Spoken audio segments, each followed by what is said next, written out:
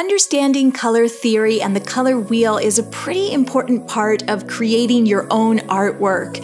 So today that's exactly what we're doing as we create this color wheel reference page. Hi friends, welcome back. My name is Shayda Campbell.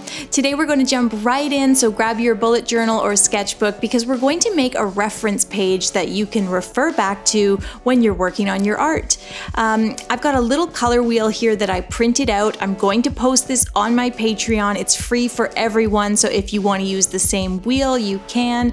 I'm taping that into my journal, and then we're going to use a piece of graphite or carbon transfer paper, slip it under there, and we're just going to transfer this little color wheel into our journal so that we can have a nice organic journal page without any paper stuck in, but I do want a kind of perfect wheel. So uh, use a sharp pencil, go over that, lift it up, and it should look similar to this. Doesn't need to be perfect. And the first thing we're going to do is begin by coloring our wheel in with the primary colors. Now the primary colors are the colors that make up all the other colors in the rainbow, and those colors are red, yellow, and blue. So I'm beginning with a nice red here. I'm using pencil crayons today just simply because I have a lot of them, so I have every color and I don't need to mix. Um, so after you color in the red, we're going to move over, um, leave three sections in between, and then we do our yellow. And our third primary color, moving over another three sections on the wheel, is blue. So red, yellow, and blue combine to make all other colors, and the wheel actually helps you understand how the other colors are made. And we'll talk about that in a second. If you struggle with mixing colors, doing this little practice exercise with the color wheel can really help. Now let's talk about secondary colors. If we mix red and yellow, right in the middle, right in between there, we get orange. And so that is the first secondary color that we're going to add to our wheel. And you can see red and yellow combine to make orange. Orange sits in the middle. Next, we'll move over and combine green, blue and yellow to make green. So green sits right in the middle between blue and yellow. That's our second secondary color. Finally, blue and red mix or combine equal parts red and blue gives us purple. And so now we have a visual. The three primary colors are red, yellow, and blue. And the three secondary colors made by those primaries are orange, green, and purple. And you can see looking at the wheel, it's quite understandable how each combines to make the other colors.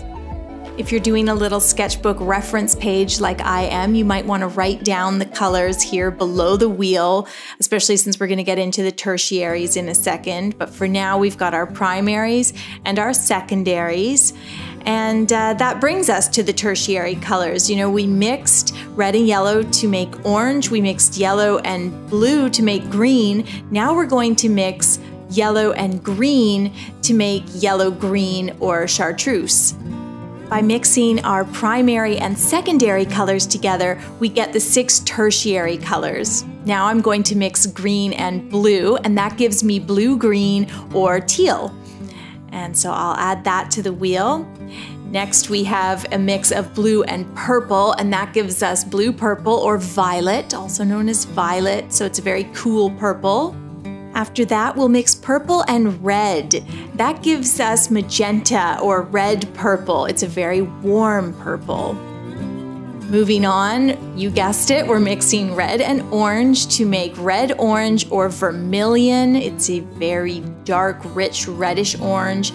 And for our final color in the wheel, our final tertiary, we're mixing yellow and orange to give us yellow orange or amber. So you can see the wheel really shows us exactly how each color is mixed using those first three primary colors. With those primaries, we can mix our secondaries of purple, green, and orange. And of course, we mix the primary and secondary colors together to get the tertiaries of teal, violet, magenta, vermilion, amber, and chartreuse. Now, when you're looking at the wheel, and if you're struggling with your color mixing, especially when it comes to painting, knowing your warm and your cool colors can be really helpful. You've got warm on one side, cool on the other. If you've got a purple and you're thinking that's not warm enough, mix in red. If you want it cooler, mix in blue. So the wheel can help you with stuff like that. As a budding artist, it's also super helpful to understand the color wheel and color schemes. Now, the first scheme we're going to talk about is a triadic scheme, and this scheme is made up of three colors that are equidistant on the wheel. So, an obvious example is the primary or secondary colors. Uh, what I'm doing in my journal here is a primary triadic scheme, but then I've modified it and used magenta, royal blue, and gold. My 2020 bullet journal cover page is actually an example of a triadic scheme made up of those modified primary colors. Next, I want to talk about an analogous color scheme, and that is one where the colors all sit next to each other on the wheel. Could be three, four, or five colors that flow from one to another. One that I use often in my watercolor painting is green through purple. So green, blue, purple, maybe a bit of brown. I can use purple for the leaves, green for the flowers, and all of it flows and blends really easily. Another great analogous scheme is that pinks, purples, browns, everything blends and flows, and that's great when you're getting started.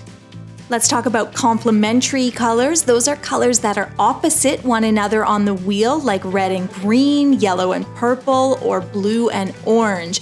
A lot of these colors we use for holidays because they are super high contrast. They're exact opposites, and uh, so we use them for Christmas, Easter. You can see I'm putting a pastel complementary scheme of yellow and purple in there.